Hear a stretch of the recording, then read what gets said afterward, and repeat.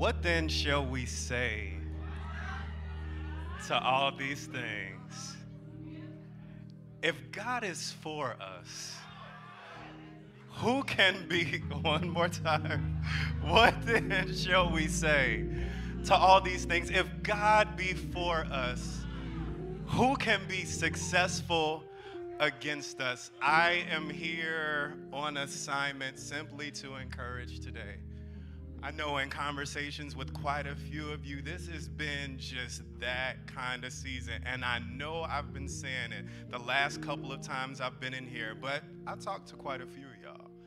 And I know what you're going through. So, my desire today is that you come away from this place encouraged and ready to fight on. Um, give some glory and honor to God before we move any further. God is so good, so merciful, and so kind.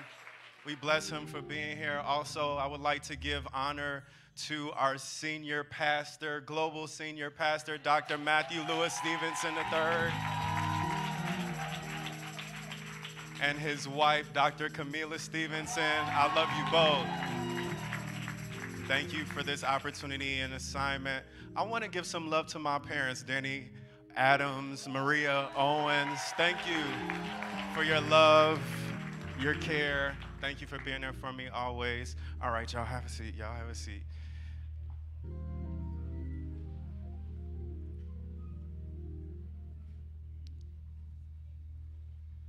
I'm not a turn to your neighbor kind of guy. Just indulge me for one second.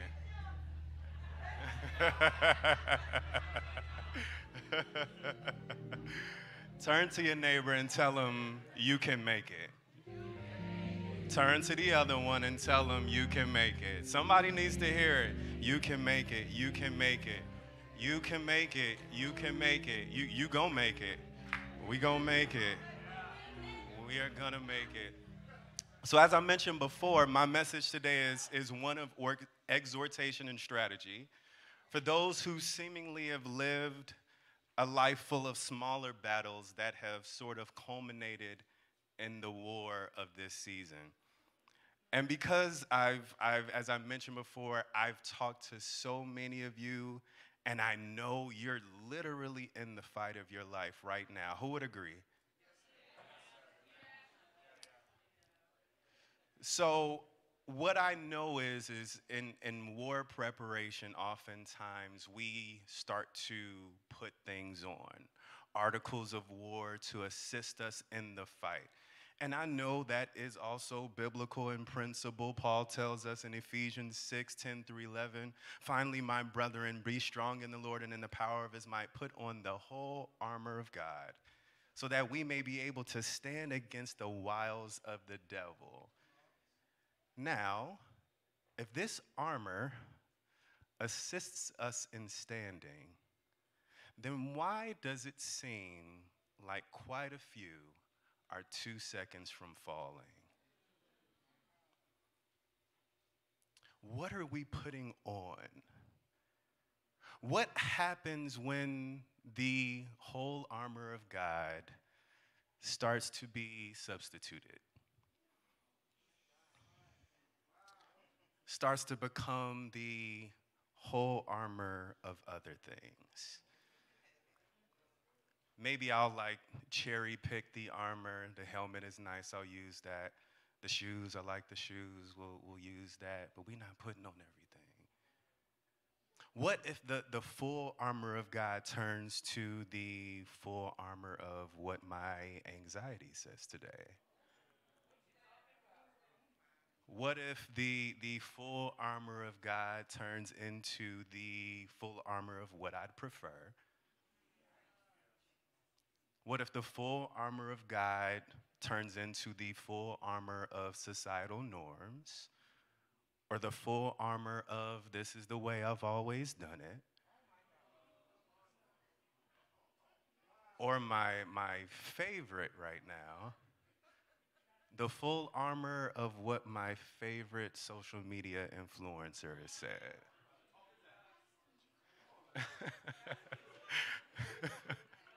I, I don't have anything generally against social media, but y'all, we, we got to be careful. We got to be careful. There, there's just, there's a lot of information masking itself as advice and wisdom that I think we are putting on right now. And, and the issue is, is that you are in the fight of your life. You do not have any wiggle room right now to be putting on something that you have not vetted. To be putting on something that you haven't tested, to be putting on something that you haven't tried, to be putting on something that worked for them, but we don't even know whether or not it works for us. And you're in the fight of your life. You, you, you can't do that. You got to stick to what works. You got to stick to what works. What got you here? What faith got you here? What trust got you here? Y'all, look, what I love it. What works? What works? Not what you think works, not what I want to try this time. What works? We're, we're going to talk about that a little bit today. Talking a little bit about what works, and this is not going to be a message about what to put on because I think we've heard that message already, and I don't think that that's our problem. I don't think we have an issue in putting things on. I think we do that really well. I want to talk a little bit today about what we need to take off. Please follow me. what we need to take off today. You see, you, you, you can't stand because you got too many things on. It's too heavy because you got too many things on. And you don't even know if these things work, but you're just carrying them.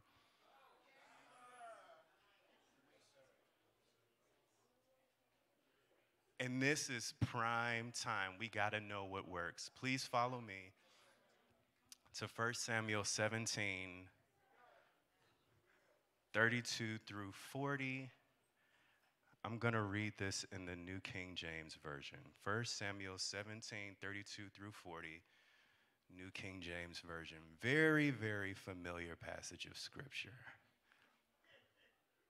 I've always wanted to say that. Very.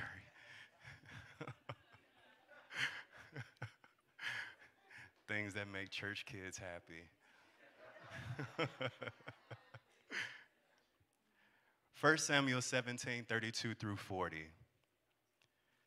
Then David said to Saul, Let no man's heart fail because of him. Your servant will go fight with this Philistine. And Saul said to David, You are not able to go against this Philistine to fight with him, for you are a youth, and he a man of war from his youth. But David said to Saul, Your servant used to keep his father's sheep. And when a lion or a bear came and took a lamb out of the flock, I went after it and I struck it and I delivered the lamb from his mouth. And when it arose against me, I caught it by its beard and struck and killed it. Your servant has killed both lion and bear and this uncircumcised Philistine. I love how we love that phrase. I really do. And this uncircumcised Philistine will be like one of them, seeing he has defied the armies of the living God. Moreover, David said, The Lord who delivered me, the Lord who delivered me, the Lord, it wasn't myself it wasn't my own choices. It wasn't my own decisions. It was the Lord. Let's be clear. The only reason why I'm still here, the only reason why I'm still alive is not because of anything else other than the Lord. It's because of the Lord. Let's be clear. See, like we'll we'll get into this new fight, we'll get up into this new circumstance, and we'll look at the new circumstance like it's something that we haven't fought before. And technically, it's something that we haven't fought before, but it doesn't matter because the common denominator is the one that's been keeping me alive this whole time. It's the Lord. It's the Lord. The Lord who delivered me from the paw of the lion and from the paw of the bear, he will deliver me from the hand of this Philistine. And Saul said to David, Go, and the Lord be with you. So Saul clothed David with his armor. He put a bronze helmet on his head. He also clothed him with a coat of mail. 39. David fastened his sword to his armor and tried to walk for he had not tested them. And David said to Saul, I cannot walk with these, for I have not tested them. So David took them off.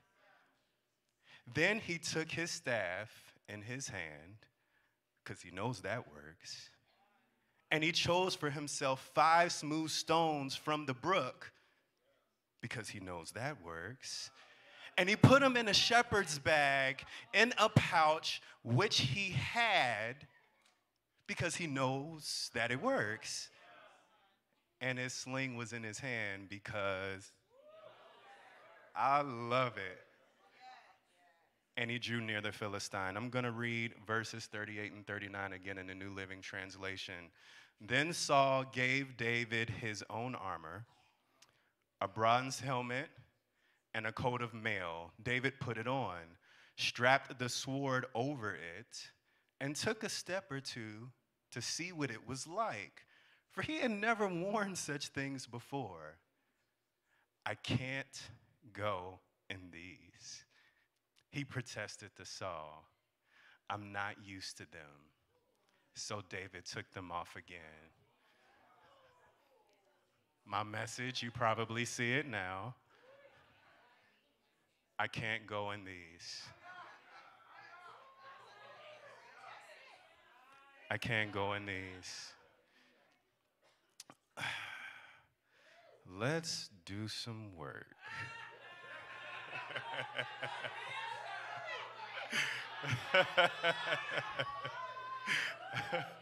I love y'all, I really do. Our author today is likely the prophet Samuel. He, he's our writer today. His death isn't reported until the first verse of 1 Samuel 25. Samuel was Israel's last judge and the one who anointed Israel's first two kings.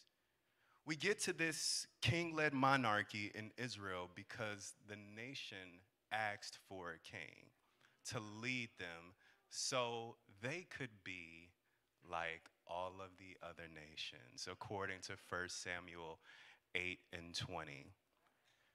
Our text is important today, 1 Samuel 17, uh, because in my opinion, it's, it's one of the most popular in all scripture as far as story goes. People that know nothing about the Bible, have no biblical appetite whatsoever, are familiar with the basic principles of this story giant, boy. Giant fights boy. Boy, above all odds, beats giant, kills him, cuts his head off the end. But as we journey through this text, I'd like to encourage you not to become too familiar with anything in this Bible. Because there's always additional revelation for those committed to the seek. Jesus says, Luke 10 21, O Father, Lord of heaven and earth, thank you for hiding these things from those who think themselves wise and clever, and for revealing them to the childlike. Yes, Father, it pleased you to do it this way.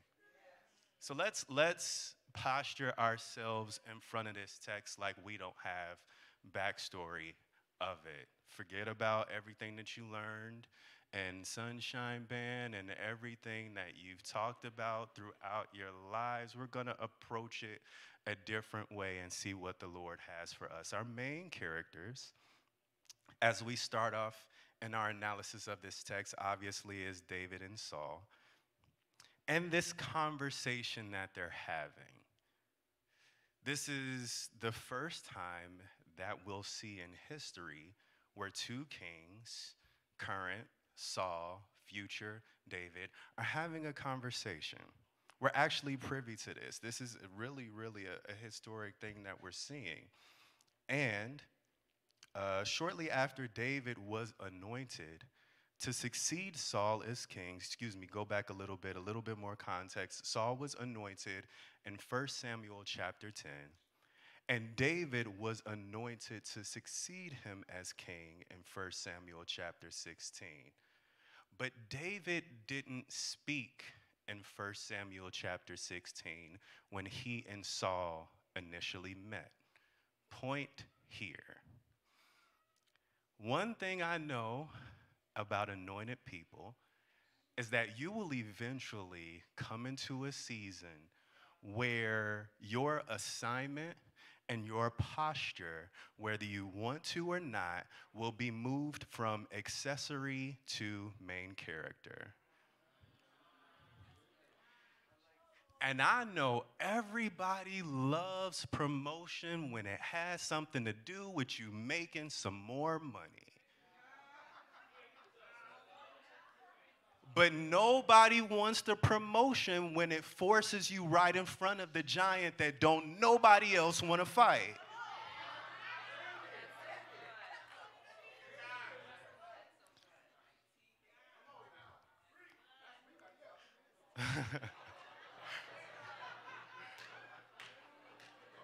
But I promise you, this oil is an investment. So if he's invested the oil in you, there is going to come a time.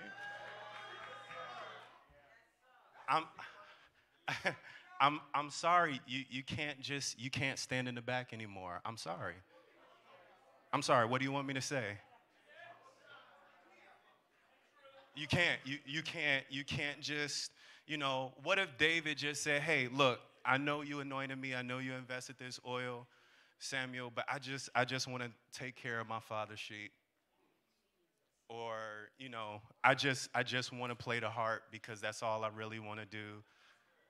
No disrespect to Glenn and Shawan. You know, we love y'all musicians, but what happens when God is calling you into another realm of influence? That's what happens with the oil. So now we see and, and so like why why was why was david anointed?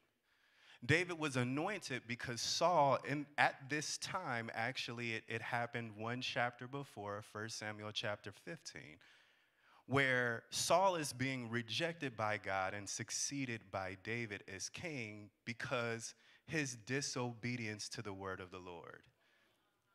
The word of the Lord commanded him to utterly destroy Amalek and to completely destroy everything that they have according to 1 Samuel chapter 15.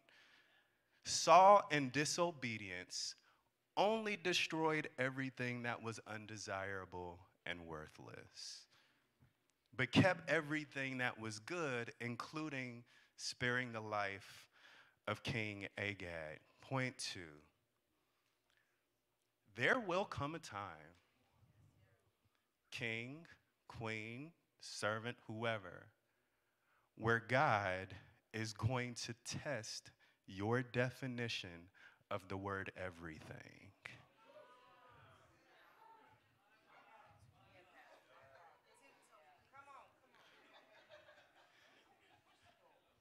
because we got some people that like love the semantics and you just gonna tip around like you don't know what everything means and when god says i want everything.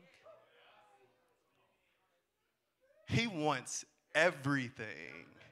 Everything meaning everything.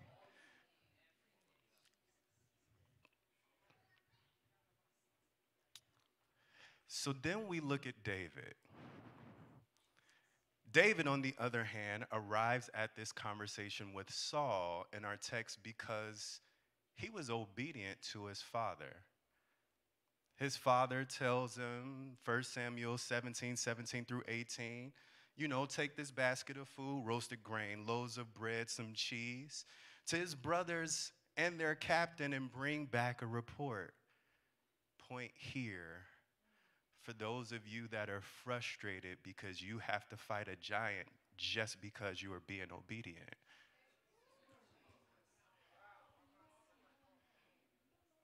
Because your expectation is that because I was obedient, I'm going to be able to kick back, kick my feet up, and just enjoy.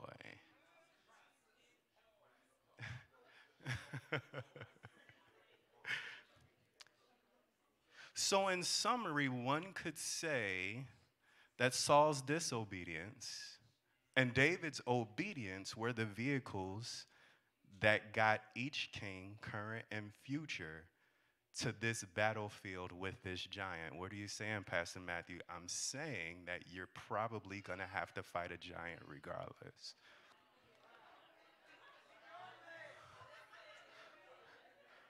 Once again, I'm sorry. I don't know what you want me to say.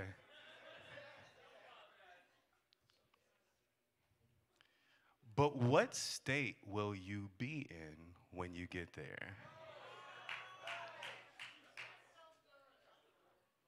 Think about it, think about it, think about it. What posture are you in when you're disobedient and you know good and well you're disobedient because you know good and well what everything means? David, on the other hand, in full obedience, probably caught a little bit off guard because I'm just doing what my father told me to do, and now I have to fight this giant that nobody wants to fight. With this in mind, what state will you be in when you get there? Let's read this conversation again. 1 Samuel 17 33. And Saul said to David, You are not able to go against this Philistine to fight with him, for you are a youth, and he a man of war from his youth. But David said to Saul, Your servant used to keep his father's sheep, and when a lion or a bear came back, took the lamb out of the flock, I went after it, struck it, and delivered the lamb from its mouth. And when it arose against me, I caught it by its beard and struck and killed it. Your servant has killed both lion and bear, and this uncircumcised Philistine will be like them. So, from my vantage point, this illustration shows that our future king, because of his obedience, is speaking from a place of complete faith. While our current king, Saul, because of his disobedience, is speaking from a place of crippling fear. What are you saying, Pastor Matthew? I am saying the courage necessary to fight giants grows in concert with the courage necessary to live a life of obedience.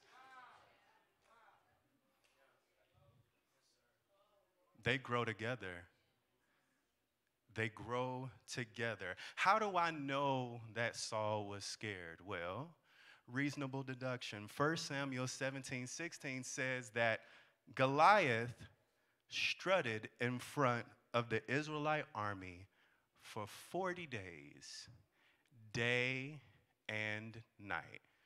Quick calculation is 80 times. Now, I, I gotta chill on Saul just a little bit because he wasn't a punk. Saul was also a man of war. But let me tell you something 80 times? You would have thought you got all of these certified killers, Saul, the army, everybody, and you would just think that somebody would say, Look, by time number 40, by, by time number 50, time number 75, I am tired of this dude. If I die, I die. Tell my story. But I'm tired of this.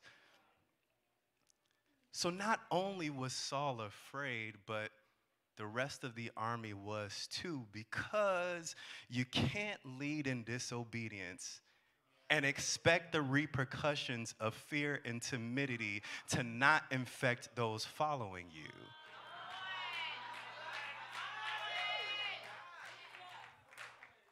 The, the people that you're, you're leading, like, consider your courage necessary. Give me some scripture. Yes, I will. Joshua 1 16, 18, New Living Translation says, They answered Joshua, We will do whatever you command us, and we will go wherever you send us. We will obey you just as we obey Moses. And may the Lord your God be with you as he was with Moses. Anyone who rebels against your orders and does not obey your words, and everything you command will be put to death.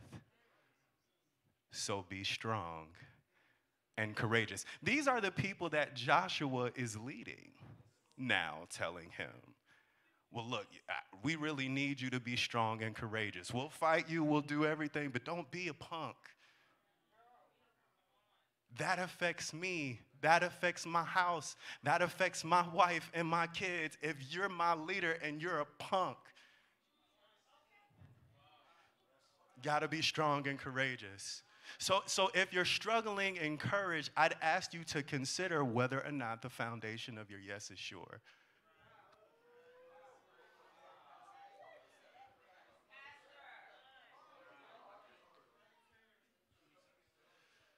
Help me, Lord. It's not about you. It's not about your shortcomings. It's not about your, your lack of preparation or your anxieties. Just find yourself in obedience. Exodus chapter 4, verse 10. Moses is having this conversation with God. And mind you, at this time, Moses is probably 70 something, mid to late 70s. And he tells God, well, I have a speech impediment, so how could you send me and I stutter? I'm like, Bro, you've been talking this whole time. You ain't said nothing about a stutter.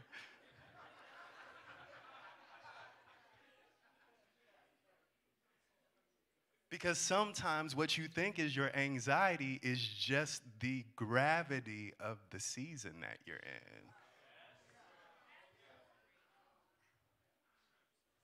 We, we, we probably got to look at it a different way.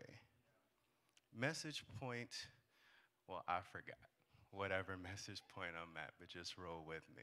Now we get to the primary point of our message where we're firmly established. We understand Saul is clearly not going to fight Goliath, David clearly is.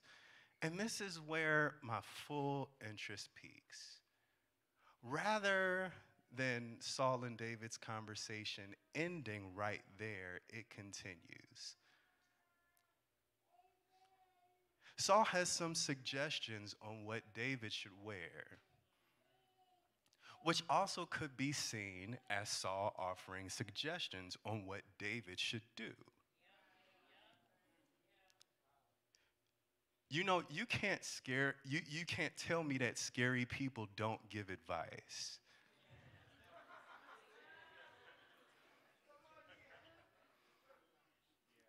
Because, cause my brother, you had more than enough time to get this together. More than enough time to get this rectified. Sometimes these people will want no parts of the battle that God has called you to, but they'll know exactly how you should do it. If it was me, you know, I'd do it this way. Or if it was me, you know what I'm saying, I would have said this. We all see that that's not true. You wouldn't have done it. You're not fooling anybody. Let's read this part again. Verse 38 says Then Saul gave David his own armor a bronze helmet, and a coat of mail. David put it on, strapped the sword over it, and took a step or two to see what it was like, for he had never worn such things before. So David put on Saul's armor.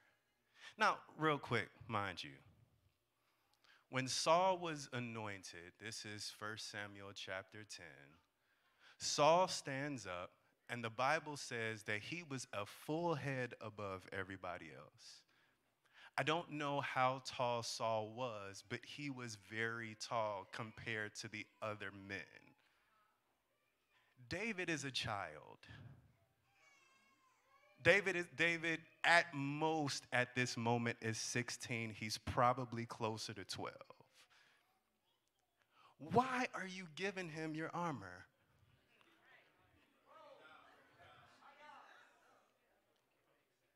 What, what about this is going to work for him? It just it, it doesn't even make sense. And what's interesting is that David, being a child, was mature enough to understand that it takes a certain level in God to know what you do need. It takes a totally different level in God to understand what you don't need. And David, being fully aware of the situation, knew that what Saul was trying to give to him was not something that was necessary for his success. He didn't have it with the bear, he didn't have it with the lion, but he had the Lord. So, as long as the Lord was there, he didn't need that. And you know what? Right now. We, we, we have to be so careful. We got to watch our eye gates, we got to watch our ear gates because there's just a surplus of untested, unsubmitted, unregulated advice that's readily accessible wherever and whenever you need it directions, instructions, and self help. And if we aren't careful, we'll adopt it and we'll put it on right before the fight of our lives. And here's the real problem with that. What's the real problem is this. What happens when we get in the habit of seeking help from sources who run away from what we're running towards?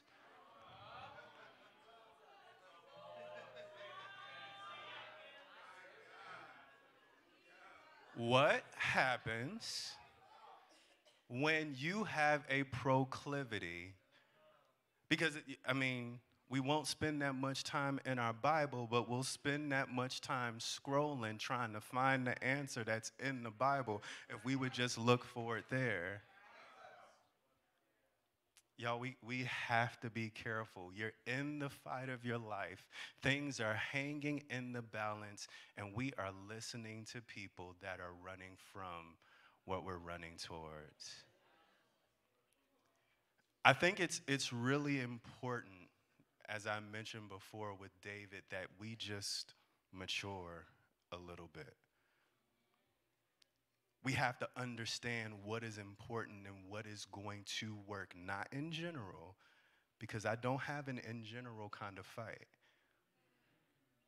What is going to work specifically for me? What do I need in this moment? What is going to work for me in this moment? I promise you you get down and pray. My Bible tells me if I acknowledge God in all of my ways, He maybe will direct my path. He possibly will direct my path. If I catch Him while He's awake, He'll direct my path. I love the word shall tell guys all this all the time. I love that word because an overthinker, historically like me, I'm getting so much better, needs absolutes. I need something that I know is going to work, and that shell just does it for me. We have to find the shell. We have to seek and find the shell and stop worrying about armor that may or may not work from people who may or may not even know our names.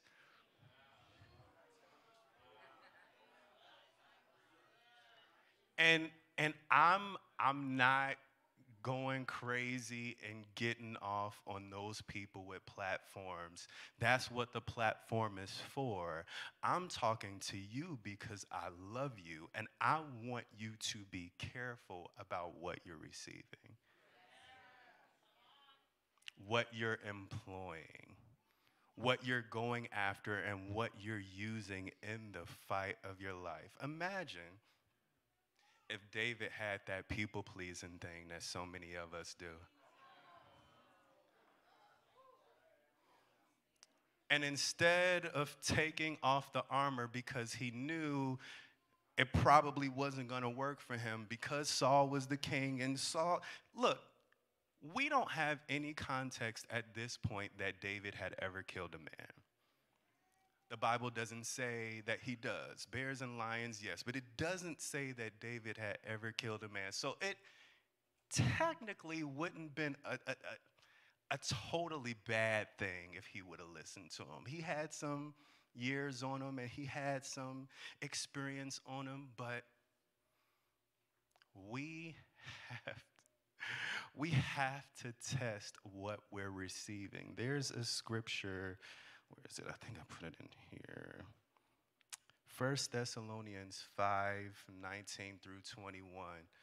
And the Amplified says, Do not quench, subdue, or be unresponsive to the working and the guidance of the Holy Spirit. Do not scorn or reject gifts of prophecy or prophecies, which means spoken revelations, words of instruction or exhortation or warning. Verse 21 But test. But test all things carefully so you can recognize what is good. So for those that are keep those of us that keep employing things that are bad, maybe it's because we didn't test it. I cannot go in these. I have to stay connected to what works because my life is at stake. This message may resonate with some of you. I'm glad y'all got your shouting out because this wasn't a shouter, and I don't really do shouters like that, so I'm glad y'all shout during praise and worship and get it all out the way. this message may resonate with some of you because you may be weighted down with the viewpoints of others, what you should be doing, where you should be living where you should be working, how behind in your life schedule you are.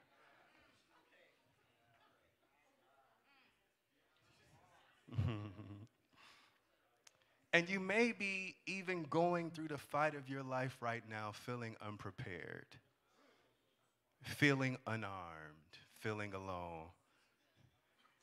But your perspective of your previous fights matter here.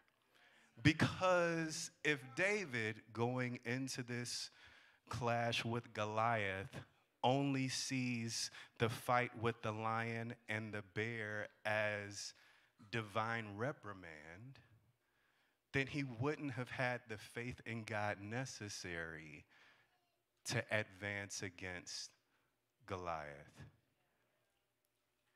Think about those smaller battles not as divine reprimand, but as divine preparation. David was successful because he had time with God and he valued that time in those smaller battles. So please, please, please do not consider this time in your life a personal attack. I know it may feel like that. But what if it's just target practice?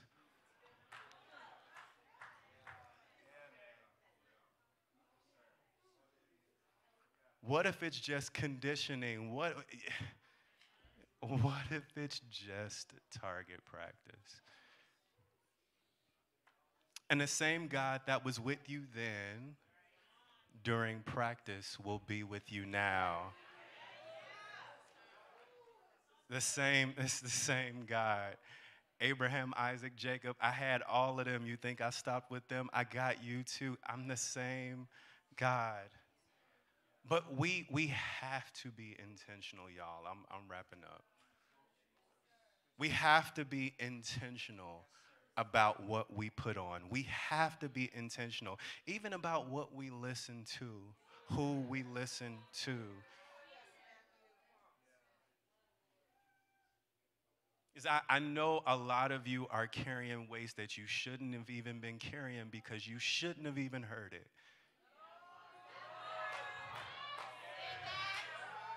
Do you have my phone? Let me see it real quick. I need to, I need to, I need to look up a scripture real quick.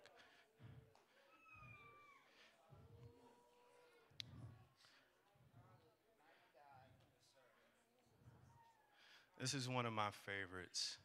Um, let me get it in the Amplified. This is 1 Samuel 15 24. It says, Then Saul said to Samuel, I have sinned, for I have transgressed the command of the Lord and your words, because I feared the people and obeyed their voice. This is Saul, of his own admission, communicating why he got rejected. And many of us don't understand why people pleasing is such a terrible thing.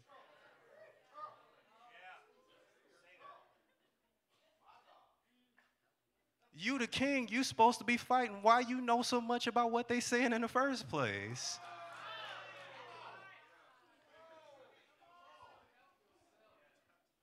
But if I gotta please the people, I gotta know what they saying.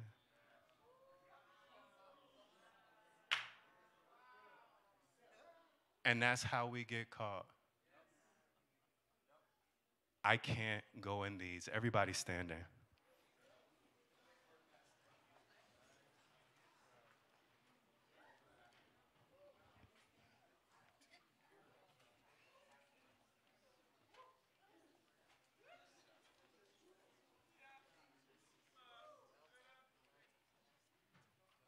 Now is not the time for your faith to fail. It's just, it's not the time. It, it's, it's no wonder why Sunday, at the last couple of Sundays, Pastor Tashira preached a, a wonderful word last week on faith. Yeah, give it to her.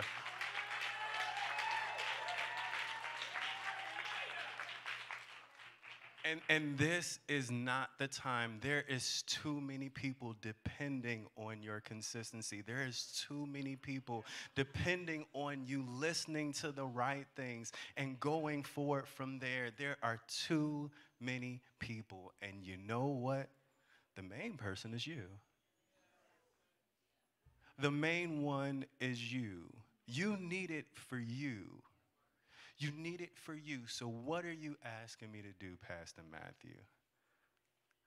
I am asking you to lean into God in a way that you never have before and ask Him for the answer. What, what if God is just waiting patiently for you? I was, I was telling the, um, the guys in our, our morning edification last week uh, Apostle, at the beginning of this year, deemed 2024 the year of Jabez, the Jabez year. And so I've been working with the guys kind of periodically with this thing I kind of call the Jabez journal. And every entry, I would just ask God for really outlandish things on their behalf. If this is the Jabez year and we're not asking, what are we doing?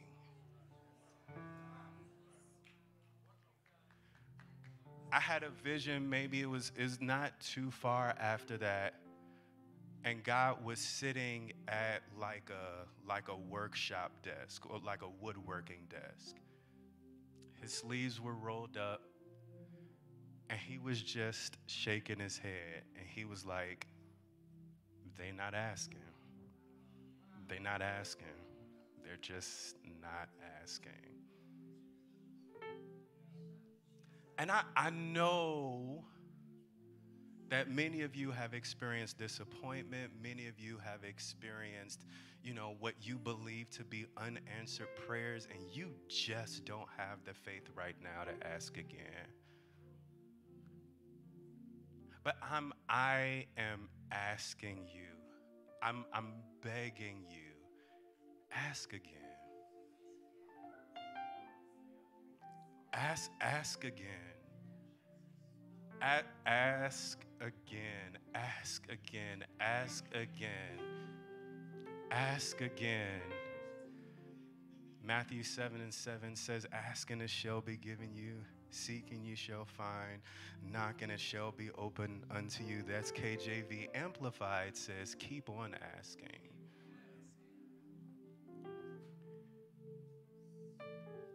The keep on is where you'll unlock the mysteries of God that you have historically felt like you're locked out of. I'm not asking you to ask one time. I'm asking you to continue to ask, to continue to seek, to continue to knock. If anyone here today is, is experiencing a season right now where you just don't have it, you feel lost, you're not sure of your, your left from your right, your up from down, and you just need somebody to meet with you and pray with you. You've been looking for answers everywhere. You've been scouring the internet, listening to all your favorite albums, and you're just not finding the direction that you're looking for. Can you come down? We'll, we'll pray. We'll pray with you. Yes, Lord.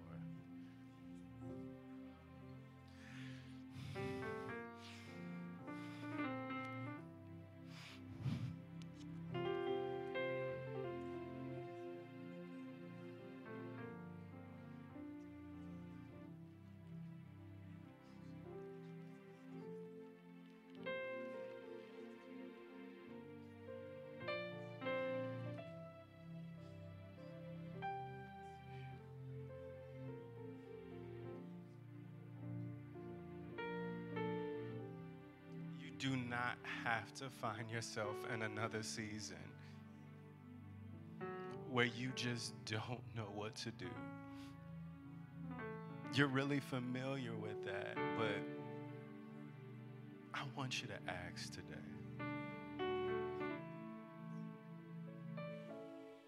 And I'm not asking you to, to go and ask and stop at the place that you stopped at last time. I'm asking you to push past that place. I'm asking you to push past that line.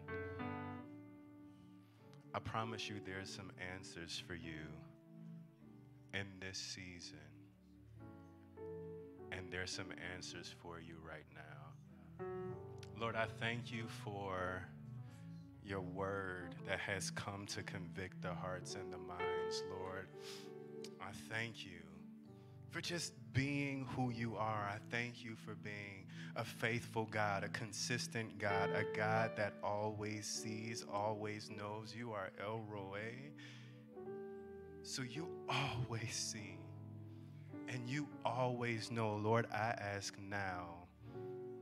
You said if I ask in your will. So I am asking now. Meet your people here today now in the name of Jesus. Give them the direction and the understanding of where to go, who to be with, what not to use.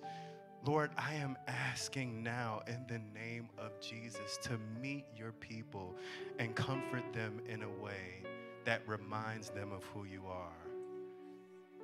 Do this now, I pray. In Jesus' name, amen. I speak life, you're gonna live, oh my brother, my sister. I speak life, you are the head and not the tail, you will prevail. I speak life, don't give up the fight for your life. You shall live and not die.